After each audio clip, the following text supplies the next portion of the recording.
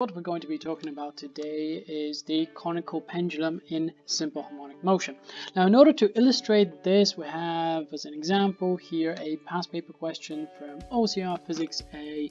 It's paper 3 which is called Unified Physics and from 2017 this is question 6 in particular. I've given a link to the uh, full paper in the description down below.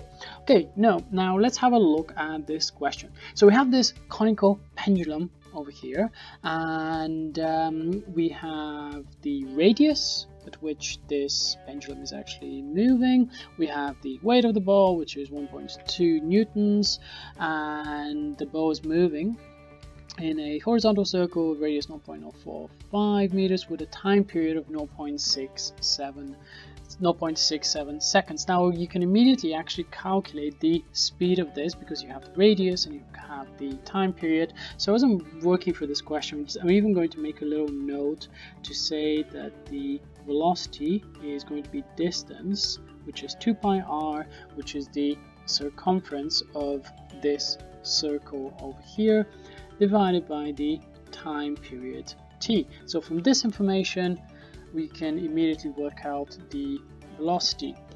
The string is at an angle theta to the vertical and the tension in the string is T. Label one other force acting on the ball. Well, the force of gravity is the only other force which is acting on the ball and this will be acting vertically downwards. Please make sure to use a ruler in the exam. Do not lose any marks on these which are quite easy.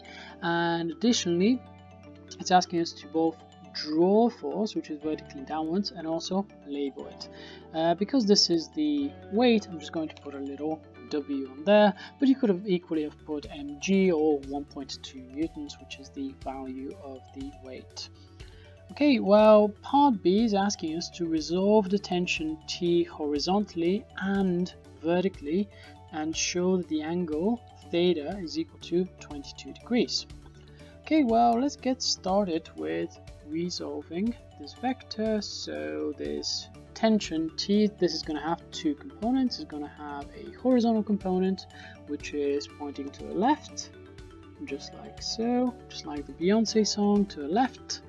And uh, we have another one, which is pointing straight upwards, like so. Because the, uh, the upwards component is the adjacent component to the angle theta, I'm going to say, I'm going to call this one, this component to be equal to t cosine theta. So we can just write this down as t cosine theta, like so. And the horizontal component is opposite. Ooh, what's happening here? Let's try again. Uh, the horizontal component is the opposite to the angle and this will simply be equal to t sine theta like so. So t sine theta.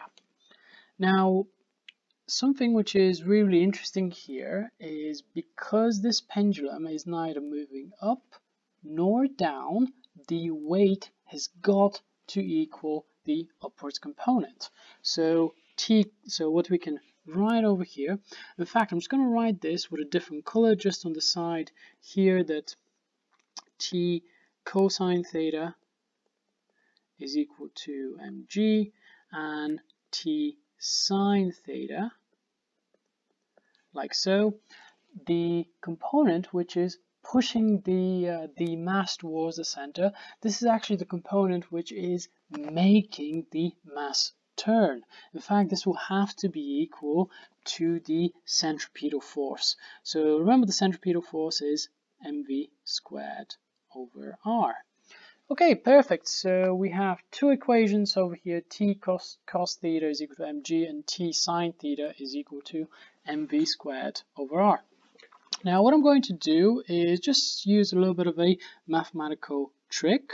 So um, I'm just going to rearrange the above equation, one of those equations for t, and then I'll substitute back into the other equation.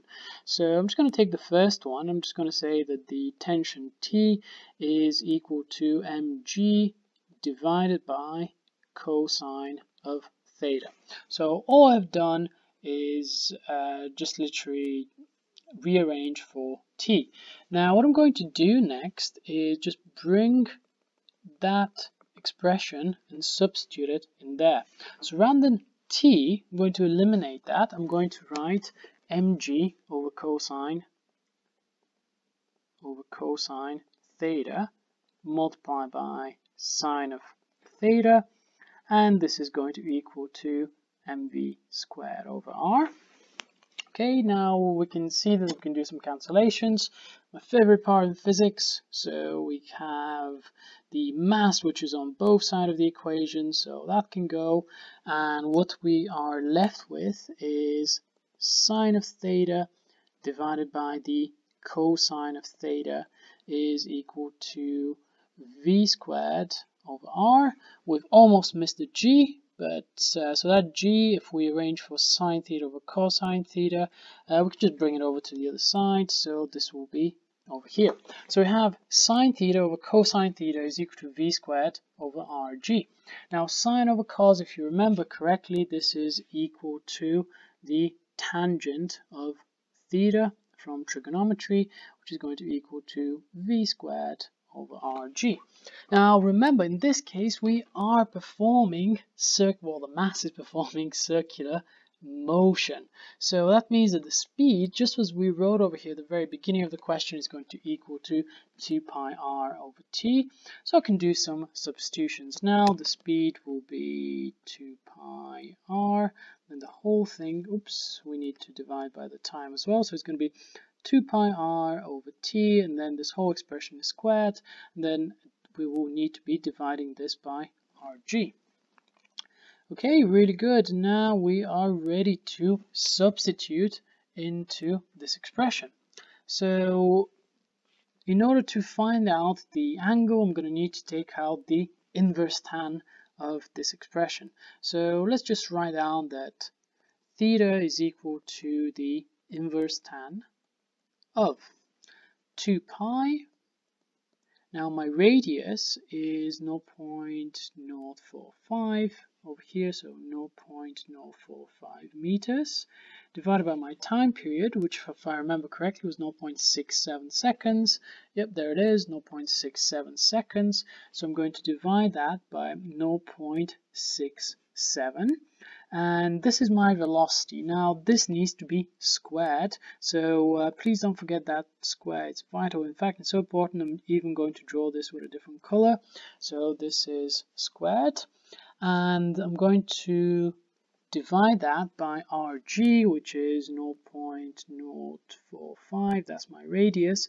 Multiplied by g which is the gravitational acceleration 9.81 and if I put that into a scientific calculator, we need to be quite careful when we input this because there's quite a lot of numbers, there's quite a bit of scope for error. We're going to get 21.969996, etc. And because in this question we're using two significant figures, yeah, we're using two significant figures, then this is going to equal to 22 degrees, which is exactly what we were asked to show. Okay folks, so hopefully this makes sense. Um, we have the following question over here, which we have a conical pendulum. The upwards component t cos theta is going to balance out the weight. t sine theta is going to provide the um, centripetal component, so it's going to equal to mv squared over r. I've done some mathematical trickery by rearranging for t and then substituting it back into the original equation.